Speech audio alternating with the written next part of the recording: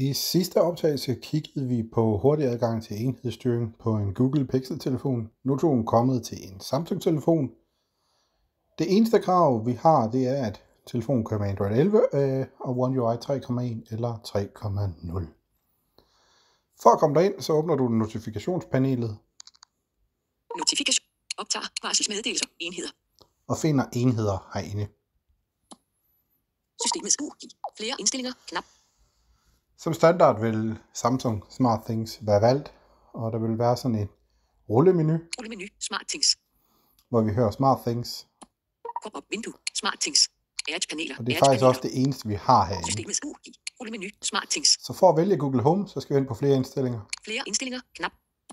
Pop-up vindue. Administrer apps. Administrere apps.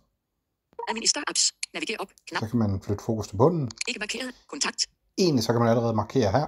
Til. For at få med et flyt til venstre Um. 14 elementer valgt. af fokus, så hører vi så her Home er valgt. Det vi så kan gøre, er at vi går ud. Systemets UI. Flere indstillinger. Knap. Så kan vi lige prøve at se på rullemenuen igen. Rullemenu. Smart Things. Pop-up vindue. Smart Things. Nu har vi Smart Things Home. og Google Home som mulighed, så den vælger vi her. Systemets UI. Rullemenu. Home. Viser element 1-15 ud af 15. Og så kan vi lige prøve at høre nogle af de enheder, jeg har. Bolighytten. 49 procent. Lamper i stue til 49 procent. Skider. Aktiver. Knap. Jeg kan vælge at aktivere eller deaktivere lyset her. Kronegas med stue i afspil. 100 procent. Spisebord stue til 100 Har en procent. Skider. spisebords lampe, der er tændt. Aktiver. Knap. Google med stue. Har en Google Home højtaler, jeg kan administrere, hvis der er musik, der kører. Der er badeværelse fra. Jeg har den her badeværelseslampe, som jeg kan tænde ved at Aktiver. Knap. trykke her. 100 procent. Badeværelse til at vide, 100 procent. Skider. Den ligger nu tændt og kører på fuld lydstyrke, som er 100. Øhm, Aktiver. Knap. Det vi skal være klar over, den her aktiver-knap, den vil være som standard uden etiket, og derfor skal man ind og tilføje den etiket på den her, og så navngive den. Øh, nu har jeg valgt at aktivere, fordi for mit vedkommende, så aktiverer man øh, som i tilfælde lyset. Det aktiveres til at tænde eller til at slukkes. Jeg slukker lige her. Der er badeværelse fra. Det vi også kan gøre, vi kan også tilføje enhedsstyring, altså Google Home øh, ting herinde. Så vi skal ind i flere indstillinger igen, Enheder. Flere indstillinger. Knap. Pop-up vindue. Administrer apps. og igen ind i administrere apps, Administrer apps. Naviger op. flytter fokus til bunden Markeret. Kontakt. og en gang til venstre. Um. 14 elementer Og så hopper vi herind. Betjeningselementer. Naviger op. Knap. Og så prøv lige at flytte fokus lidt mod højre. Vælg, hvilke enheder der skal vises. Bolighytten. Ikke markeret afkrydsningsfelt. Og den har jeg ikke markeret, så viser den hele hjemmet. Grupper. Ikke markeret. Kontakt. Alle lamper. Jeg kan vælge, om alle mine lamper de skal være der. Ikke markeret afkrydsningsfelt. Det er så af god grund ikke valgt. Og Ikke markeret. Kontakt. Lamper i badeværelse. så siger den ikke markeret lamper i badeværelse. Men til orientering, så kan jeg fortælle, at lamperne i badeværelse er valgt her.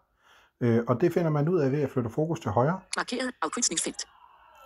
Og så kan I høre, at den er markeret her. Øhm, så det kræver, at man holder tungen lige i munden, når den siger ikke markeret. Ikke markeret. Kontakt. Lamper i stue. Og Markeret igen her. Ikke markeret. Kontakt. Ikke markeret. Afkryds. Badeværelse. Hvis du tager badeværelse her, Ikke markeret. Markeret. så har jeg den her badeværelselampe, der er markeret. Ikke markeret. Markeret. Ved Afkrydsningsfelt. næste mine. Så kommer der en, der hedder vask. Ikke markeret. Kontakt. Badeværelse. Vask. Og så kan jeg markere den. Ikke markeret. Afkrydsningsfelt. Så vil jeg Markeret. nu Viser øh, 1 til 2 ud af anden. ud, hvis jeg nu går ud af menuen her. For nu har jeg valgt Administrer apps. Um. den her som en enhedsstyring. Systemets UI. Flere indstillinger. Knap. Viser element 1 til 16 ud af 16. Så flytter vi lige til bunden. Aktiver. Knap. Vask badeværelse fra. Nu kan vi så se den her vask. Men et dobbelttab her. Og hold trykket. Begynd at trække element i position 16. så kan jeg begynde at trække elementet. Og det er så her, man skal holde tungen rigtig meget lige i munden, for man får ingen indikation på, hvor man er. Faktisk har jeg flyttet mine fingre halvvejs op på skærmen og en to tredjedel mod venstre. Nu slipper vi. Element sluppet i position 9. Så får vi vide her element sluppet i position 9. Uden for fra. Vil se, om vi kan finde den. Aktiver. Knap. Vask badeværelse fra. Den ligger så her ved siden af min øh, udendørs havelampe. Øhm, og så kan jeg Aktiver. Knap.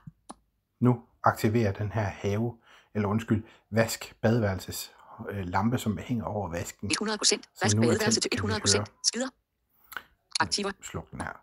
Så det er sådan måden, du øh, styrer dine Google Home enheder til, til at kunne tilføje og, og kan flytte rundt på dem også. Og Generelt så er det egentlig, hvordan det fungerer med hurtig adgang til enhedsstyring af ens Google Home-produkter på en Samsung-telefon. Øh, Håber du kunne lide øh, tippet, og abonner gerne på YouTube-kanalen og aktiver notifikationer, så du ikke går glip af fremtidige videoer. Ellers så har jeg ikke så meget andet at sige end hæng på til vi ses i næste optagelse. Peace!